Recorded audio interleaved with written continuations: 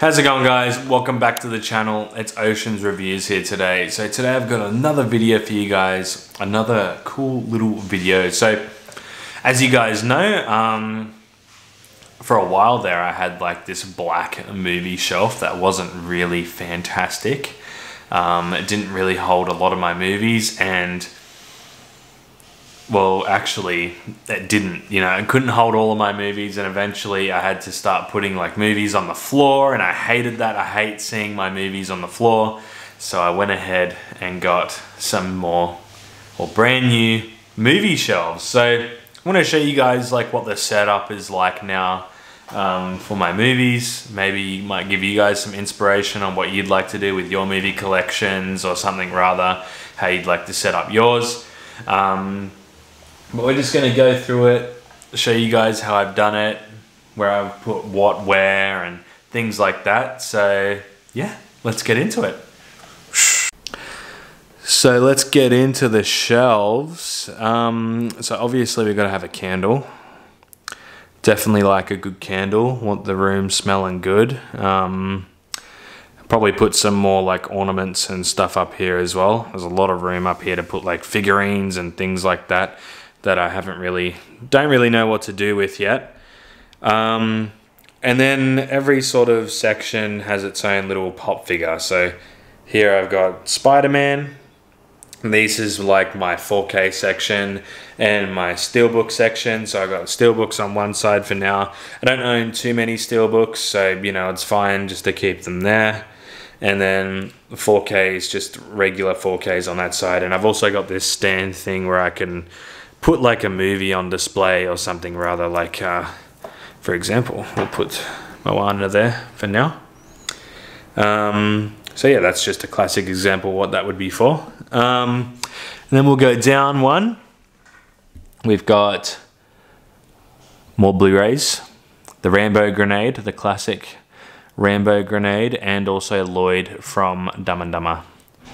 Um, so yeah we like that um, just uh, all my Blu-rays, obviously, well, they probably should be, but they're not in alphabetical order or any sort of order. When I put these shelves together, I was like, oh, finally it's done. I just want to put them on the shelf, but I will do some sort of organization at some point. I usually like to organize them by like genre, not particularly alphabetical order. So I put like comedies, horror, action, you know, just something like that. Um, I feel like I like that sort of order. Then we got Arnold from Predator when he's covered in mud, fighting the Predator. And then obviously I've stacked them here as well and then done like the vertical stack there. I didn't want to put them in front. I don't want to do any overlapping because I sort of want to use this space for like figurines or anything like that that I might buy. Probably some more pop figures, probably not, I hope not.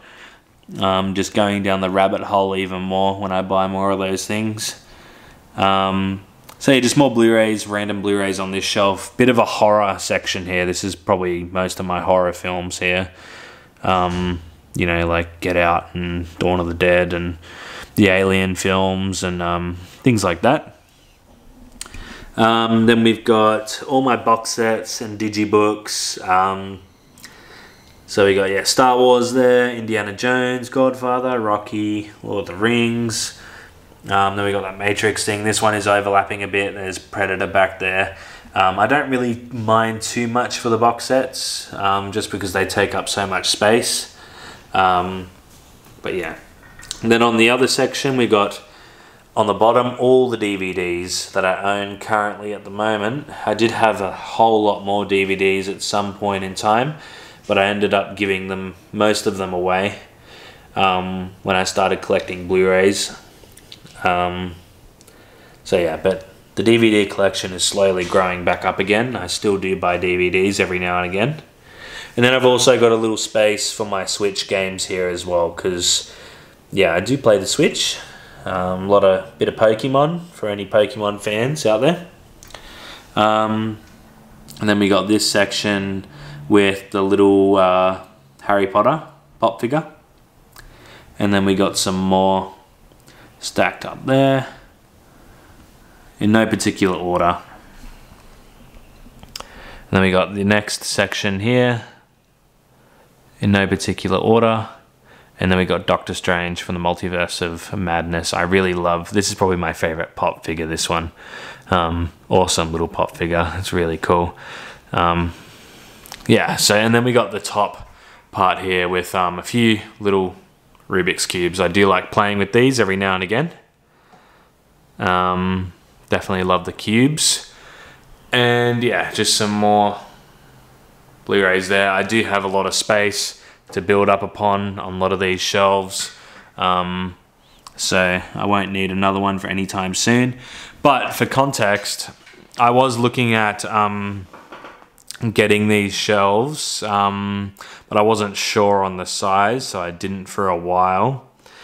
Um, but these, if you live in Australia, these came from Kmart and they were $39 each. So definitely a good price for some shelves and definitely a space saver. You know, if you don't mind stacking them like this, like I have, I don't really mind it because I'm all about trying to save space as much as I can. Um, but not not saving space to the point where I'm going to double up here. I'm definitely not going to do that. I really don't like that. Um, I feel like a lot of you will probably feel the same as well. You're not really a big fan of doubling. Um, but yeah. So eventually I might get a third one if I have to, but I feel like it would be quite some time before I have to even consider that.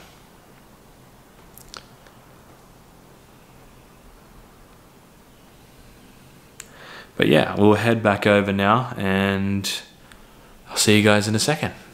Hey guys, I'm back. So I hope you guys like that little overview of the uh, movie shelves that I've got now. Definitely a lot cleaner, bit of a better space.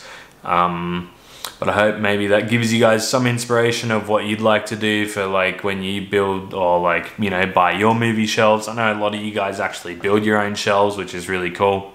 I don't have the time for that, to be honest. I couldn't. Um, but yeah, these were relatively cheap. If you're looking for some budget friendly movie shelves, um, definitely go to Kmart. Um, $39 each. I mean, you can't go wrong with that price, really. I feel like that's a great price for some just some shelves to put your movies on. And if you don't mind how I've stacked them like that, you can definitely do that as well. Um, but yeah, let me know what you guys think. I know a lot of you guys are sort of always researching and into like how to set up your movie collections and how to display them and things like that. You guys are really passionate about that. So I thought I'd show what my setup is like. Love to know what you guys think. Um, but yeah, hope you guys enjoyed this video and I'll see you in the next one.